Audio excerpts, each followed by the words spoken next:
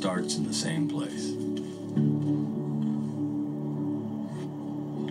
Or at least that's the way it should be. Because there's no better place to take a step onto the ice for the first time than here. Where only the skies above you, where you can see yourself breathe, where you come to swear that this game is exactly what winter was made for. So that's what made this such a great idea. An obvious one, really. Taking the greatest players in the world, the ones who had gone from ponds and lakes and rivers to the biggest stages in the sport, and bringing them back outside. Being a kid growing up playing outside, you know, that's where you dreamed of playing the NHL. And I don't want to get off the ice. It certainly brought you brought you back to those times as soon as you stepped foot uh, outside. Good sticks, boys, good sticks. But all these years later, it's easy to forget how unlikely it sounded then. How many questions there were. Would the ice stand up? Could they sell the tickets? Pittsburgh and Buffalo. That's football country. How much uncertainty. When you take one of our games and then you subject it to the elements, anything can happen. What a big chance it felt like. Building a sheet of ice atop a football field. And hoping against hope everything would go just right. If only they'd known what just right would feel like.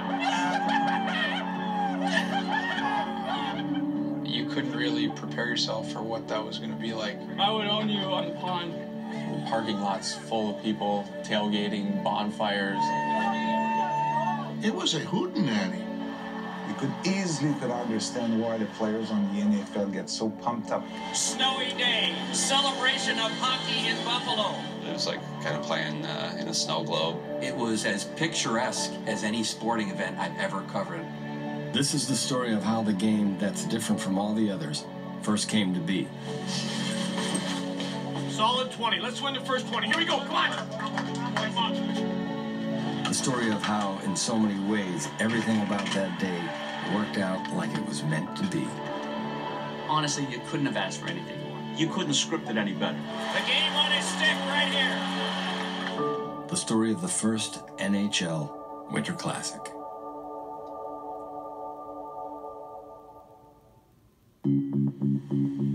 It's now been 10 years since the National Hockey League's first Winter Classic. 10 years since the New Year's Day game first became one of the biggest draws on the sports calendar. It all started as a business idea, with the league on a mission to find new ways to reach new fans. We looking for an opportunity to create an event that would be attractive not just to the fans of the teams participating, but would be something that would capture the imagination of the sporting world. And that was at a point in time when the college football bowls had moved away from January 1st, and we in NBC concluded that that would be a great window for us to do something special I had seen the outdoor hockey game that the NHL had done several years earlier in Canada. The first ever National Hockey League game, outdoors, the Heritage Classic. I just saw it as a really cool thing. I just remember how cold it was. I remember all the smoke coming off people's breaths. It reminded me of the, the Ice Bowl when the Packers played the Cowboys in 67. I thought, what an unbelievable scene. And we thought, if you do this right and market it right, you could really create a, a destination. A lot of people are going to be home at you know, in the middle of the afternoon on that New Year's Day. Let's give it a shot. For an American audience, it was a novel idea for an NHL game. A lot of people who have played hockey, and especially most of these players, they grew up playing outdoors, so it connected to the game's roots. So, as the plans for the first Winter Classic got underway, the first order of business was to find the right teams to participate. And soon, an intriguing idea emerged. The concept was how about a good cold weather city with a reputation for cold? Buffalo. I mean, the Buffalo Sabres were a perfect example of a, you know, great fan base, and they liked a little mucking and grinding. They had a great goalie in Ryan Miller. Ryan Miller, spectacular goal. I thought it was uh, interesting that you know we're the first real like hyped up sanctioned game, seeing as I played uh, outdoors in Michigan State and what was you know the biggest game uh, outdoors for a long time. The college experience was definitely uh, something where you, you know you take some lessons from that and, and move forward. Family, friends were all calling, texting, uh, wanting to, to make sure they, they, they got tickets. So I, I knew it was going to be a pretty fun event to be a part of. And so there it was Ralph Wilson Stadium and Buffalo. And one of the more prominent teams, because of star power at the time, was Pittsburgh. Pittsburgh was geographically proximate, having a team like the Penguins that had star power and Sidney Crosby and the rest of their roster. It made perfect sense. I mean, the game was a marquee event because of Sidney Crosby. Crosby shot score! Yeah, likes that goal. We waited a long time for someone like this. We had Gordie Howe and Bobby Orr and Wayne Gretzky. Now we have Sidney Crosby. Hockey fans knew how great he was because he was the youngest scoring champion in North American pro sports history at 19. Now he was 20 on New Year's Day. Sidney was his first year as a captain. He was the youngest captain in the NHL history. You could tell about uh, about the way that he approached the game, that he was ready for that challenge. It was a great drawing card for the network to have the Pittsburgh Penguins there and to have a lot of people on New Year's Day see one of the great hockey players in his budding years. With the venue set and the teams in place, another question loomed as the calendar moved towards New Year's Day 2008. Could they sell the tickets? This was not a layup like future Winter Classics would be. Do you think people would turn out on New Year's Day?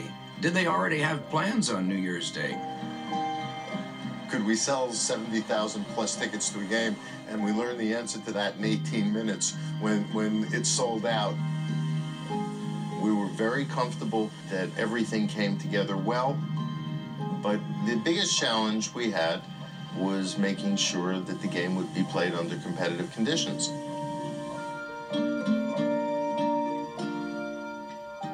As New Year's Day 2008 approached, final preparations for the NHL's inaugural Winter Classic were well underway. With Ralph Wilson Stadium in Buffalo sold out and a national television window for the NHL's most exciting young superstar, Sidney Crosby. However, another big question remained. Could the NHL create an outdoor rink that was safe and up to standard for a game that counted? This game is two points on the table.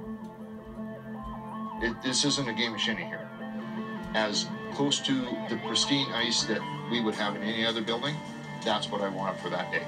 The biggest obstacle for us is obviously Mother Nature. That's something that we can't control. So when you're in an indoor arena, you have a controlled environment. You're able to say exactly what the temperature is going to be, almost exactly what the humidity is going to be inside. You know, sun, no rain, no snow. But once you move outside, you're kind of at the mercy of all of that. A group of kids playing on a frozen pond never worry about ice conditions. But in the pros, every inch of the surface matters. The few previous outdoor games played in the US and Canada before had gone off well. But this one was going to have its own challenges. Played in the brutal Buffalo winter, and just a few days after the Bills' last home game of the season. Everything had its timetable of exactly when we were supposed to be moving in, exactly where all the equipment was in relationship to the Bills game being over. But at halftime, the weather totally changed on us, and it really messed up our first setup day. And from there, with the weather not letting up, the ice staff was going to have trouble getting back on schedule. We had some flex time built into our first three days of scheduling, and uh, unfortunately, we used that all up on the first day, so we've had to push our crews pretty hard here the last 48 hours.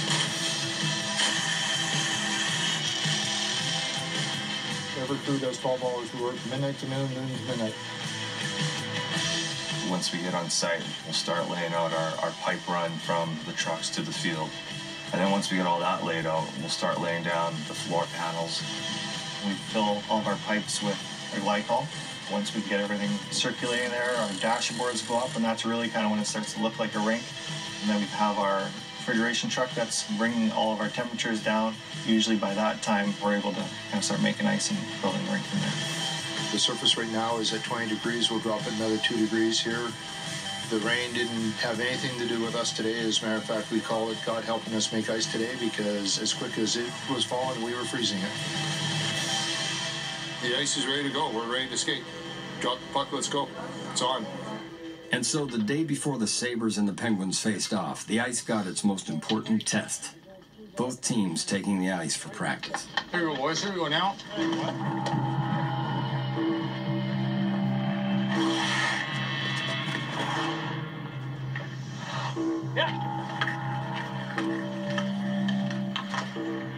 Fine, the ice pretty good. Yeah. Yeah, but that's to be expected. The ice, I thought was okay. We had some problems with it. Hey, Jerry, look at this.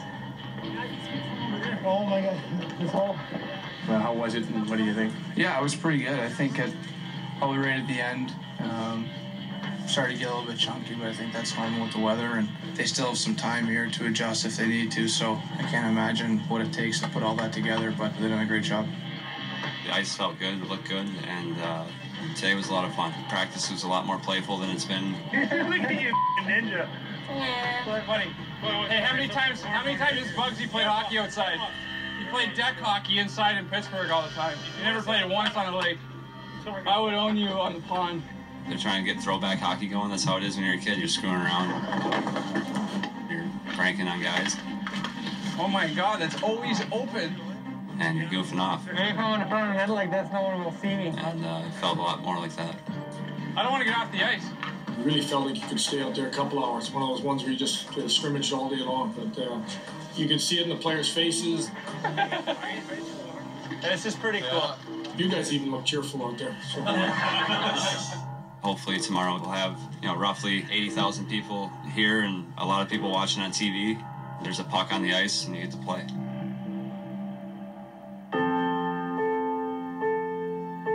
Welcome back to um, Orchard Park, New York, here at Ralph Wilson Stadium. Over 73,000 people expected to be in the stands today to watch the Winter Classic between the Sabres and the Pittsburgh Penguins. The weather wasn't that great leaving the hotel. It looked like rain. And that's when we kind of thinking, this might not work. You know, rain on ice, that's no good. And then as we got closer and closer, that rain turned into what I thought was pretty good snow. The snow now coming down even harder here in Orchard Park, and we'll have to see if that's at all an issue today. It's actually starting to collect a little. And then you're there, and there's loads of people already there, and we're there hours and hours before a broadcast. And I'm thinking to myself, this is really, really neat. The scene in Buffalo was just wild. These are hardy fans. They don't care. They come out for Bills games when they're 2 and 12 and it's 10 degrees. So they show up in droves for the game. This is hockey town, baby. There was people there in the parking lots having fun and barbecuing and, and doing their thing, playing hockey, not playing football at that time. They're playing hockey out there. It's one of the best football tailgating scenes in America, and it looked the same way. Players told me later that on the team bus, they were like, What is this? This looks like a football game. And it did.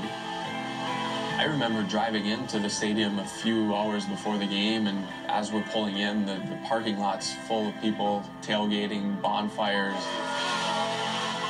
The fact they could come and tailgate and spend the whole day celebrating hockey the way they can do it with football, I think it was really something that was special to them and obviously special to us as well. Go home, Penguins! They're going home to lose there! People just love the idea of playing hockey outside. It feels right, but it was a little bit different, you know, playing at a football stadium with that, you know, that amount of, of people watching. Snowy day, celebration of hockey in Buffalo. Let's go Sabres! 73,000 here. Come on, guys, let's go. As the puck drop drew near, the fans had filled the stadium and the players got ready to take the outdoor ice.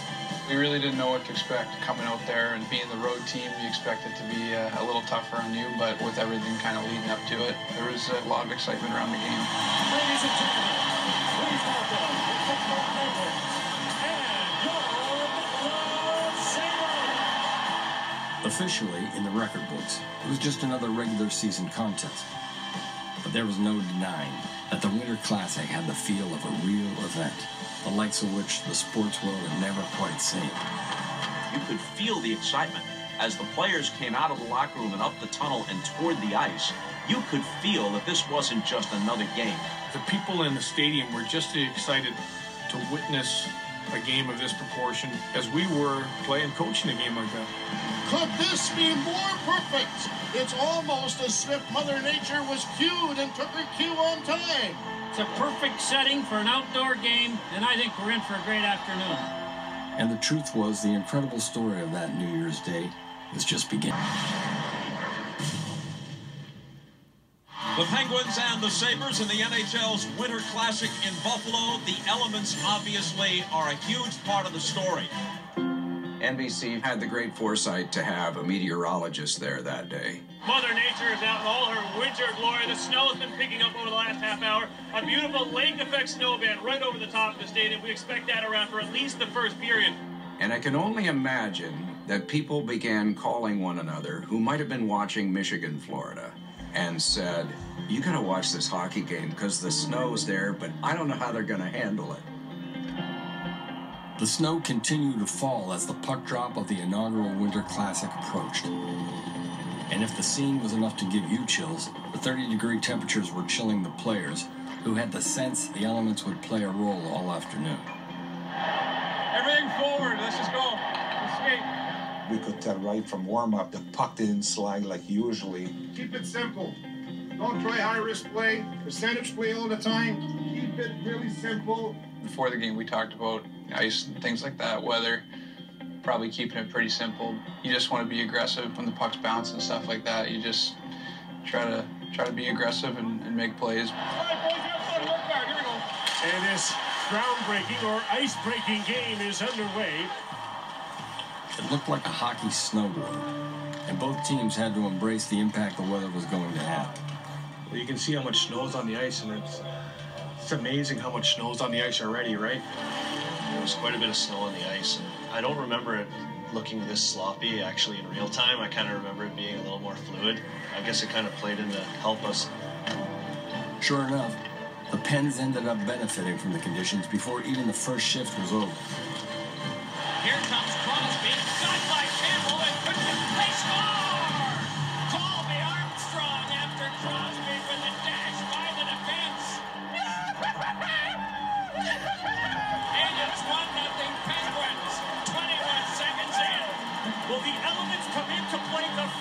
shift? The puck will just slow up.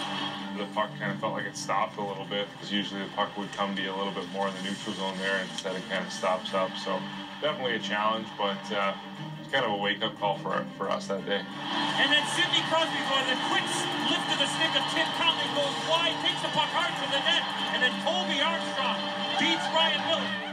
With the amount of snow on the ice, it was definitely choppy and bouncing around, and it took a while for everyone to, I think, kind of settle into the fact that it was going to be like that. So, yeah, maybe we, we took advantage early, and a guy like Crosby can create something like that on ice with two inches of snow.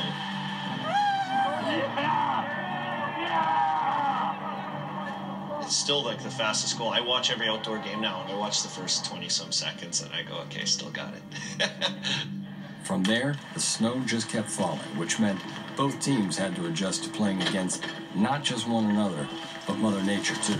Ludman a shot deflected and a pad stop is made by Conklin. And Bobby Williams shot it really hard, but again, it got caught up in the snow piles that are building up on the ice. It looked awesome for TV, but as far as like playing and making plays and getting things accomplished as much as we would like to, it was a little bit harder. When you're making those passes, you're to stick handle, puck bounce off your stick, maybe a pass will go awry. So again, you gotta make sure concentration is so important. Hey, we don't even gotta worry about passes. Just get it going forward. They can't handle it. They're not gonna be able to beat you. Just a bouncing puck's harder. Playing outside, they do a great job of trying to make the best ice possible, but it's still outside. There's weather and things that can affect it. So you just go out there with an open mind and just try to be aggressive. While Crosby preached aggressiveness, as the period continued, he showed off some sensational stick handling too. You see that? Maybe the most magical play of that Winter Classic. Well, here's that play, Penger. You got so excited about it. You stick handling and not once but twice. The ability to read that, I can get from here to there faster if I flip the puck up in the air and push along my stick a little bit, and then I can skate into it. That was magnificent. It was one of my favorite moments of that Winter Classic. For Cecil made Sidney Crosby the things he tried, not only in practice, but more importantly, in a game situation.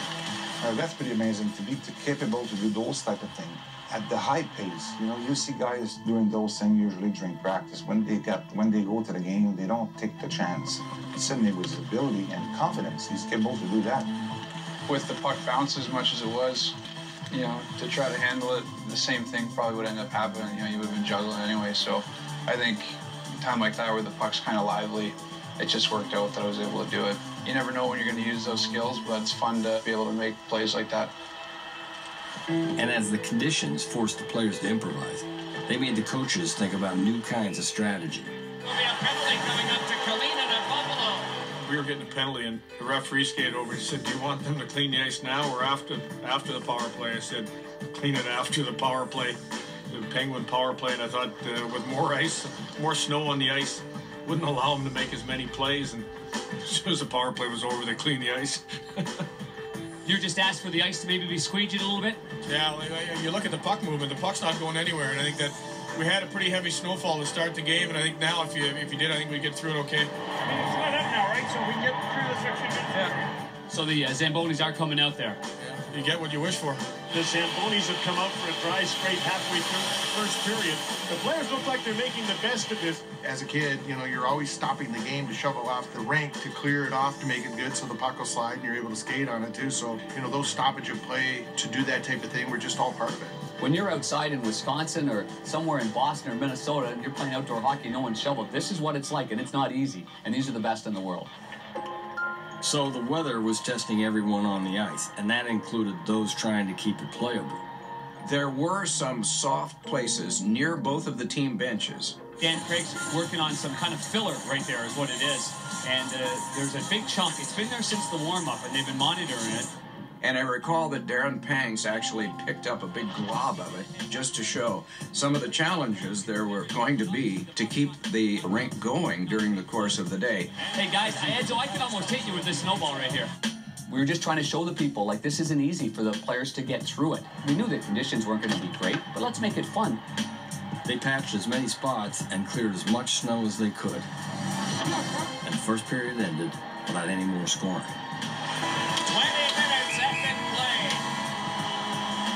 One goal, and it came in the first minute. 21 seconds in. Colby Armstrong from Sidney Crosby. Certainly not an uneventful first period, and certainly not the typical NHL game because of the circumstances here. Anytime you can pick a team that has Crosby on it, you're going to expect a player of that caliber to create a couple chances on his own. And, you know, he created the early one. But, you know, I thought we came up with a bigger push after we got through the first period. John Shannon was a producer that I had worked with a number of years, and he had suggested before I go to Buffalo, get plexiglass to put down over my notes.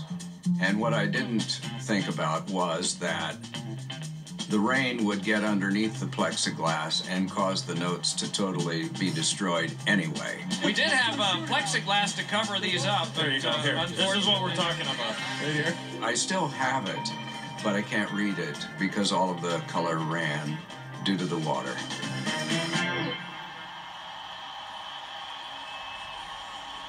We got to get skating, and we got to keep driving the net. Keep driving the net on this guy. If we don't have anything, get it below the goal line, get it behind the net. We've had a couple good opportunities.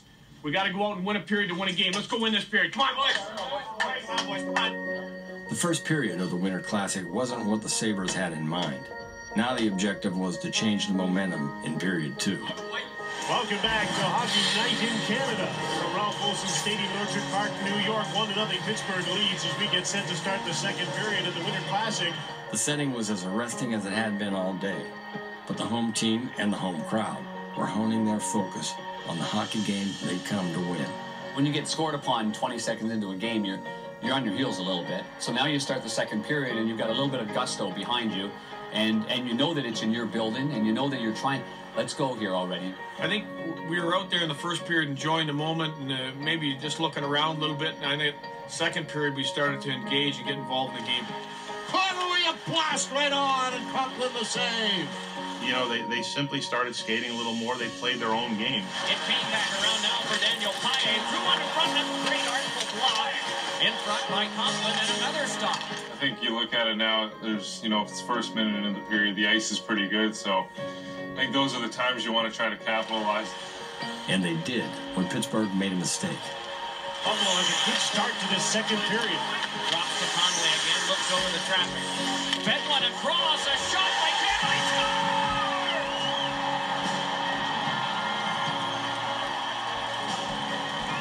Tim Connolly, a great player, great at uh, delaying, made a nice pass. In Winter Classic games, I think you just want to be sure on a lot of plays, and, and that's a play where, you know, maybe in a game you get it and you, you try to shoot a lot quicker, but there I ma- had to make sure that it's on my stick and, and then I'm able to get a good shot off. Well, the Penguins were not able to get the puck in deep. There you see the background. The Penguins are going for a change. They only have four players on the ice in the defensive zone. Yeah, that was me. That was my line change.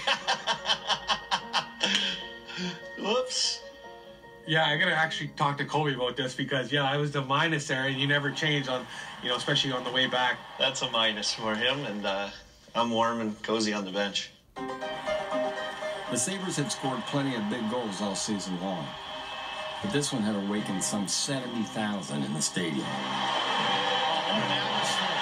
Definitely roar for the home team's goal.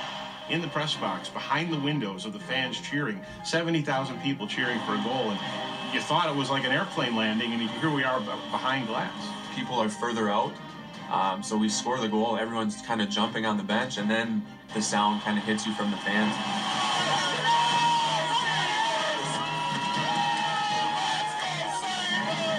It seemed like a delayed, echoed, mm, mm, whoa, and you're like, whoa. And then when it comes down and hits you, it's like, whoa. You know, it was really neat, really neat. So, the game was tied at one, and the stadium stayed in a frenzy as the Sabres maintained control throughout the second period, outshooting the Pens 14 to 2.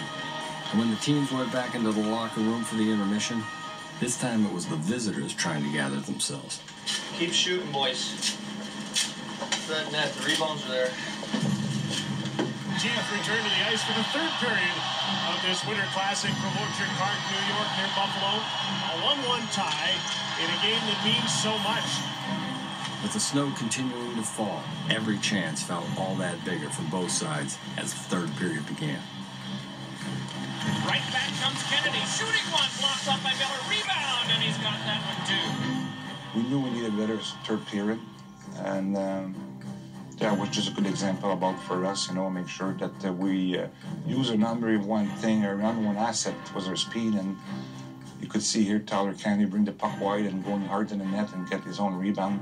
One of my the big things with me is my skating is a difference, so I try to obviously use it here, and you know, I. I I used to always have a pretty good snapper coming down the wing, and I try to use it to my advantage. And as the Pens looked to regain momentum, Sidney Crosby continued to display his array of talents. Back to Crosby. Pivot, spinorama, backhander, And there's not too many players capable to do uh, those Denis Savard type of move. So uh, with his skills capable to put it under the crossbar, but I guess with the snow, he was not capable to, to do that. It's like pushing a five pound weight. And the horn's going to sound, and that'll end the first half of the third period. With the wind and snow a factor, the teams changed goals halfway through the third. But from there, the impact of the elements only seemed to intensify. And it just feels like a five pound dumbbell when I'm carrying the puck. Well, here we go again. Just as the game started, another little squall rolls in off the lake. And you notice how it's going a little sideways. The wind has picked up. As the players struggled to deal with the downfall, so did the ice. I've been watching this spot right next to the Sabre bench. They manicure it almost every time there's a whistle. Um, they're just having problems with a patch, I would say about two foot by one foot uh, inside the blue line. There were some spots, I know some troubled spots, I think down just past Buffalo's bench. Uh, a spot that they had to work on a few times throughout the game. They had like a extinguisher out and they were trying to do everything they could to to keep the ice in that area. Well, I remember Dan Craig, and this, I'm sure, Dan would tell you, was unlike any challenge he had ever seen. Uh, it was tricky. It was it was really tricky. I really had to manipulate just using the ice resurfacer itself, or guys with the shovels and doing whatever I could. We have the problem here, guys, with the ice. Once again, this has been the same area that's been a problem all game long. I remember players helping with their sticks to sort of patch up holes in the ice, and it definitely approximated more than any game probably in the history of the NHL conditions that these guys, including Sid, grew up in playing. And just like back in their pond days, they played through it, trading more chances as the period wound down. Malkin's climbing behind. Gets on in front row. A quick shot that wouldn't go. Roy getting it over the line. His shot. Conklin to save the rebound. Just failed to catch that one. As the buzzer neared, though, neither side could pull ahead. But then, just before the end of regulation, came another plot twist. A whistle on the Pens number 20.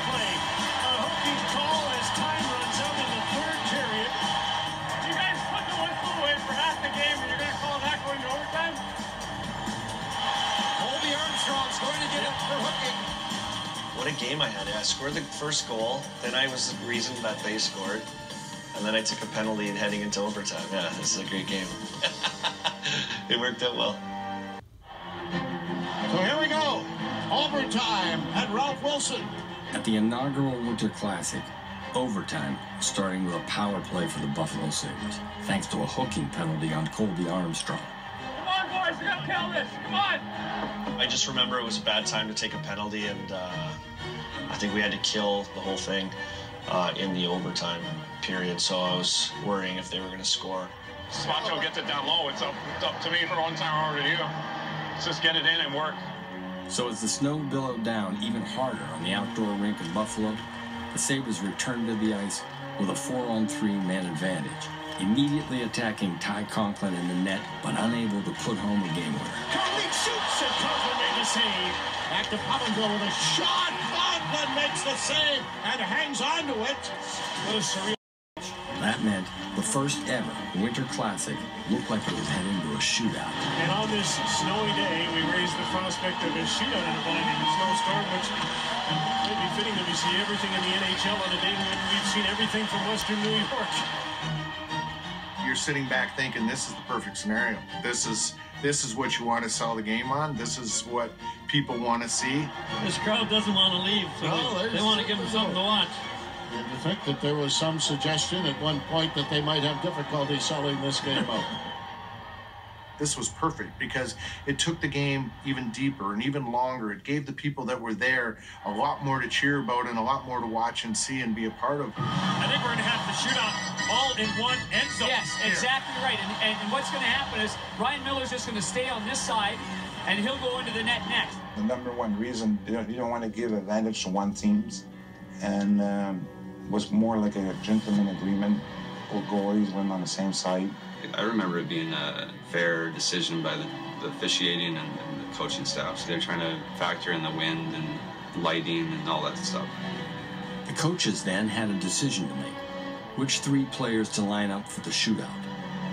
coaches spend a lot of time with players in practices and, and you know your assistant coaches are watching that all the time and saying hey this guy's hot you know this guy's not but generally you go to the pretty same guys in a game like this i'm sure that both coaches michel Therrien and lindy ruff are wanting to get the big boys out there as much as possible I mean, we had a pretty good shootout team. and, You know, Al League starting out here.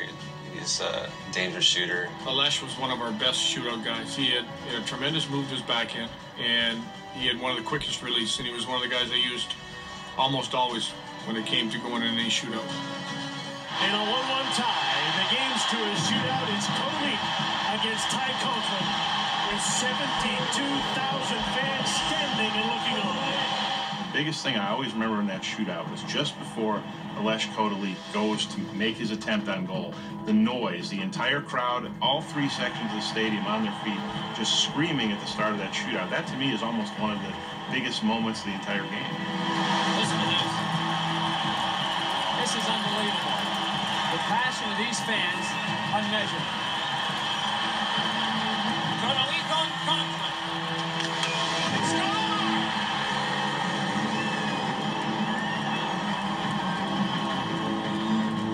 See as, as he picks up the puck, he has that little fumble right there. So that the, the snow was putting a little bit of drag on it. So I thought he made a good call, made the shot instead of trying to move the puck around too much. That's a perfect shot. There's no room.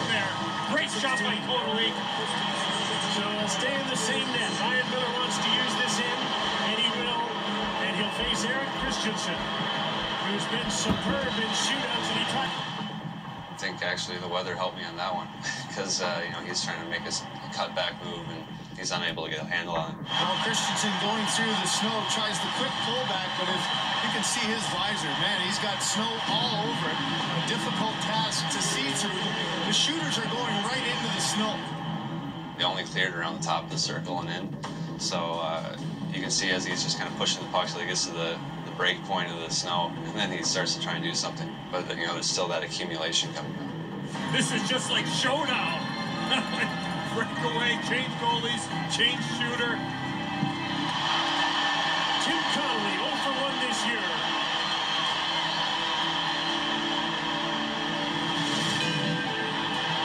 Saved by Conklin. Tim Connolly, one of our best shooters and one of our best dekers. And probably a lot of times you're going to see him deke, but because of you know the snow coming down and the amount of snow on the ice, I think that you know he chose to shoot. Things could be even now if Letang, who has been the closer three times, three winners, and he's three for three. Another youngster, he's 20 years old, you know, and uh, Letang at that time, he was really successful in the shootout, even for the four defensemen. Not many defensemen do this, but he's been terrific. Score! He's unbelievable at that, You know, our goaltender got fooled a little bit by it. It almost looked like a mishandle coming in. You know, you can see all the snow, you know, going back and forth. To almost lose sight of the puck at one time. Everyone standing. Afinogenov, a 0 for 1, 5 for 12 in his career on Conklin. Save! Maxim off missed the last shot for the Sabres, and here comes Crosby, and you heard the noise in the stadium when Crosby headed to center ice to get the puck.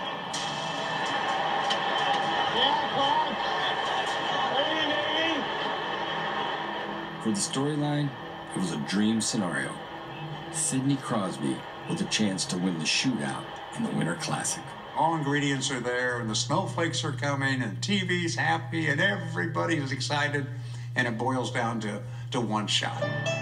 I just wanted to make sure I got some kind of shot off. That was really the only thing on my mind, and um, I didn't really have anything in mind as far as what I was going to do, but I just wanted to make sure that I got a shot off and give myself a chance that way. Meanwhile, the significance of the moment certainly wasn't lost on Doc Emrick. One other time in a game between Pittsburgh and Philadelphia, uh, Sid had had a breakaway, and it just was one of those things that came to me while he was in on the breakaway that the game on his stick. And here's Crosby on a breakaway. The game on his stick. Score! And with this event, now with him having the chance to end the game, it came to me once again. The game on his stick right here.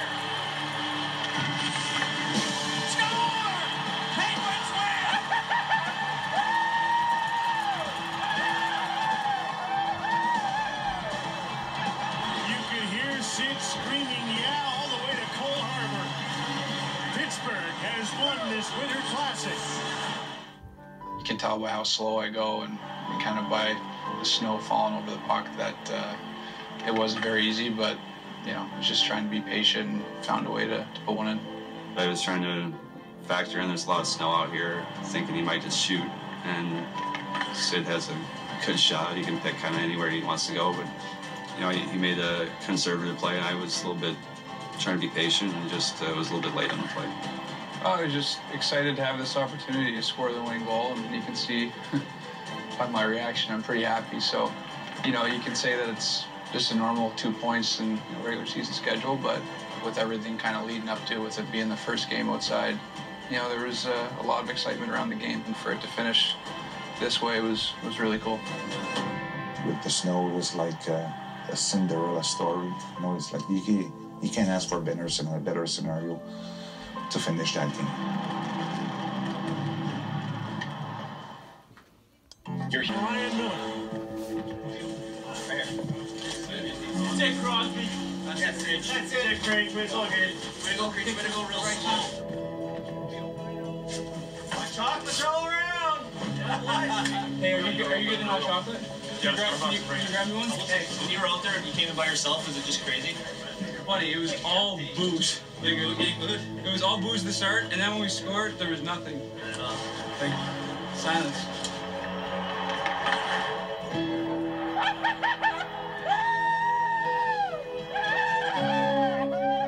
If I were an NBC scriptwriter, that would have been the ending. It would have been, all right, Sid has to score to win the game. It was perfect. I think that everything kind of worked in our favor that day between the weather, the great crowd, the competitive game, having this young superstar really get to show his stuff at crunch time. It was the perfect experience for us. Sidney, for a showcase game for you know international audience, could it have been scripted better? You got the snow, you got the shootout, and the NHL's young star scores the decisive goal. You know, it's nice ending, obviously, you for me, but uh, and our team, but um, everything worked out, and I think you're right. I think it went pretty well. I believe that was the first time for Sidney NHL on the center stage to be able to make that big play. He has had so many moments, beginning with the Winter Classic, that resonate. He would be a Hall of Famer no matter what. But there's a difference between being a Hall of Famer and being a legend. This was the beginning of Sidney Crosby becoming a legend. On New Year's Day, 2008, Sidney Crosby was just 20 years old, two years into his pro career. But his winning goal in the Winter Classic was another huge sign that he was already becoming the face of the NHL, somehow exceeding enormous expectations. Never seen an athlete come into a league with more heaped on his shoulders than Sidney Crosby. I mean, he was expected to save the league, transform the league. He was the greatest prospect since Wayne Gretzky. He was supposed to be great from day one. Not good, not just okay, great from day one. And he was. He scores! Oh, slap me silly, Sidney. Sidney Crosby, Over the 10 years since the 08 Winter Classic, Crosby's led the Penguins to four Stanley Cup finals, raising the cup three of those times. The Penguins have won the Stanley Cup, and Lord Stanley, scratch their names on your fabled cup. Over those same 10 years, what Crosby and the Penguins and Sabres started has only grown. And playing outdoors in the national spotlight has become an experience no one who's a part of it takes for granted. It's a great memory, you know, when I think of things I've been fortunate enough to be a part of. That one's right up there just because it was the first one. Uh, you couldn't really prepare yourself for what that was going to be like. You only had your experience of playing outside as a kid, and uh, to be able to do that at the NHL level, I think was a dream come true. having a chance to play in it was awesome and yeah it's it's it's a fun event to be part of it it's a fun event to watch even i now still look forward to watching every year's winter classic and the stage keeps getting bigger and bigger The NHL took advantage of it by putting it in, in really compelling venues. It's such a visual event. When people are clicking through the stations, they want to stop and, and see it and say, wow. The next year it's at Wrigley. Then it's at Fenway.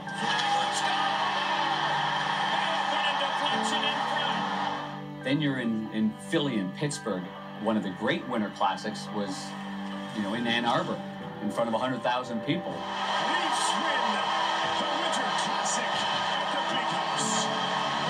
And the outdoor games on New Year's Day have turned out to be just part of the growth of the tradition. There have been more than 20 NHL outdoor games overall since that first Winter Classic, on both coasts, including matchups in warm weather climates. Yet another experiment that the NHL ice makers managed to turn into tremendous successes. And later this month, a different rivalry will take to the elements when the United States and Canada face off in the World Junior Championships at New Era Field back in Buffalo. None of it, though, would have happened without that first Winter Classic in 2008 on New Year's Day, a holiday that hockey took for itself. This was the NHL owning New Year's Day, which had been reserved always for college football in the past. It's the event that's quickly become a New Year's must-see, the NHL Winter Classic.